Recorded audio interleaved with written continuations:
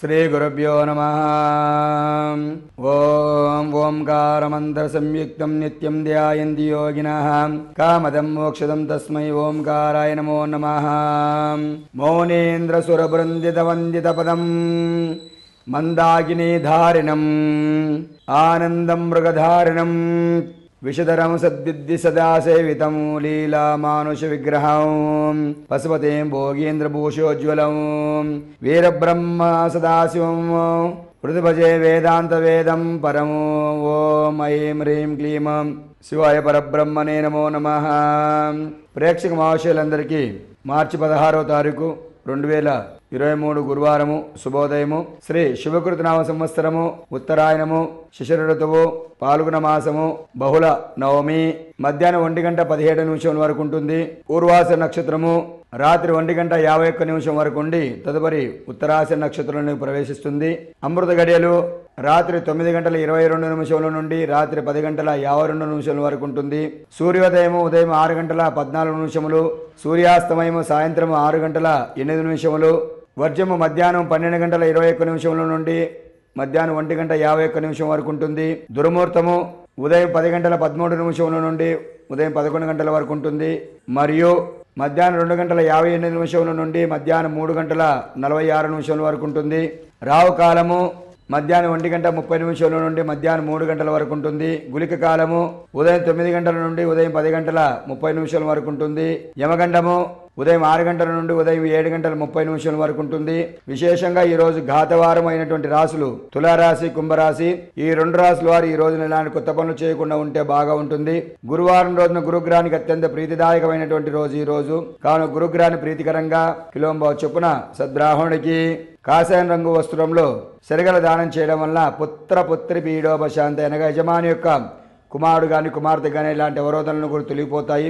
గురుగ్రాని ప్రీతికరంగా కనకపుష్య రాగం ధరించిన ఎడల విశేషణ ఫలితము గురువు ద్వారా మీరు పొందవచ్చును. అలాగే గురుడు అధిపతి అయినటువంటి రాశులు ధనస్సు రాశి మీనరాశి ఈ రెండు రాశుల వారు కూడా గురుడు అధిపతి కాబట్టి వీరు కూడా శనగల దానం చేసి కనకపుష్య రాగం ధరించడం వల్ల విశేషణ ఫలితము గురువు ద్వారా మీరు పొందవచ్చును.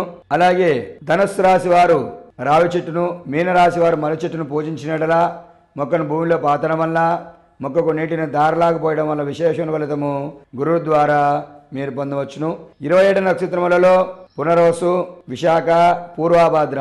ఈ మూడు నక్షత్రం వారికి కూడా గురుడు అధిపతి కాబట్టి వీరు కూడా శనగల దానం చేసి కనకవశి రాగం ధరించడం వల్ల విశేషణ ఫలితము గురుని ద్వారా మీరు పొందవచ్చును. పునరసు నక్షత్రం వారు వెదరు వృక్షాన్ని విశాఖ నక్షత్రం వారు వికంగట వృక్షాన్ని పూర్వాభాద్ర నక్షత్రం వారు వేప చెట్టును పూజించినట్ల మొక్కను భూమిలో పాతడం వల్ల మొక్కకు నీటిని దారలాగపోయడం వల్ల విశేషణ ఫలితము గురువు ద్వారా మీరు పొందవచ్చును. అలాగే గురుగ్రాని ప్రీతికరంగా దేవానాంచ ఋషీనాంచ గురుం కాంచన సన్నిభం బుద్ధిమంత్రం త్రిలోకేశం తం నమామి బృహస్పతిం. ఈ యొక్క శ్లోకాన్ని ప్రతినిత్యం ఎవరైతే జపము గాని ధ్యానము గాని చేసుకుంటారో వారికి గురువు యొక్క సంపూర్ణమైనటువంటి అనుగ్రత లభించగలుగుతుంది. అలాగే విద్యాబుద్ధులు బాగా వస్తాయి. మీ యొక్క సంతానానికి ఎలాంటి అవరోధాలను కూడా తొలగిపోతాయి. అలాగే గురువారం రోజున గురుదేవుడు అయినటువంటి జగద్గురు దత్తాత్రేయ స్వామి పరంపర అయినటువంటి శ్రీపాద శ్రీవల్లభుడు నృసింహ సరస్వతి మాణిక్యుల మహారాజు స్వామి సమర్థ కలియుగ దైవం అయినటువంటి శ్రీ సాయినాథుల వారికి అలాగే మంత్రాలయ గురు గురు రాఘవేంద్ర స్వామి వారికి భగవత్పాదులు ఆదిశంకర భగవత్పాదుల వారికి పోతులూరు వీర బ్రహ్మేంద్ర స్వామి వారికి రామానుజాచార్యుల వారికి మొదలగు గురుదేవులకందరూ కూడా ఉదయం పంచామృత అభిషేకాలు జరిపించండి. గురుదేవులకు ప్రీతికరంగా గురుచరిత్రం గానం చేయించండి. గురుచరిత్రం పారాయణ చేయండి. అన్నదాన కార్యక్రమం జరిపించండి. తద్వారా ఇలాంటి అవరోధనలు కూడా తొలగిపోతాయి. మీకు మంచి హృదయం కలిగి సంఘంలో గౌరవ మర్యాదలు పెరిగి అలాగే గురువులందు పెద్దలందు అభిమానానికి పాత్రలు అవుతారు. గమనించగలరు. అలాగే గురుడు అధిపతి అయినటువంటి రాశులు ధనస్సు రాశి మీనరాశి ఈ శుభకృత నామ సంవత్సరంలో